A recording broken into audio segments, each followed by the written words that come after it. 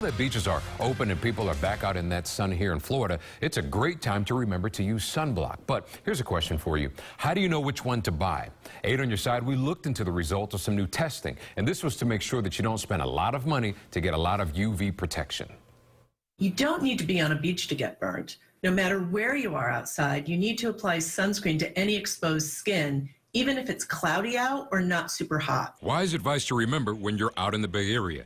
And you still need to protect yourself even if you're indoors with the AC cranked up near a sunny window. Glass blocks the UV rays that can cause sunburn, but it can let through some of the UV rays that are primarily responsible for wrinkles and skin cancer. Go into any drugstore or grocery store, and you often see tons of sunblock options. Consumer Reports is revealing its sunscreen testing results. The tests took into account a product's water resistance claim. The two top performers? Consumer Reports says they're Trader Joe's Spray SPF 50 Plus and Coppertone Ultra Guard Lotion SPF 70. Each top rated sunscreen contains an ingredient called oxybenzone. The concern with oxybenzone is that there's some evidence that it's absorbed through the skin more than previously thought.